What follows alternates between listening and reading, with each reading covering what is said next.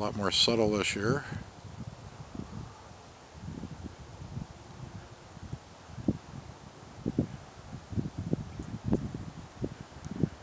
But still, a lot of fun.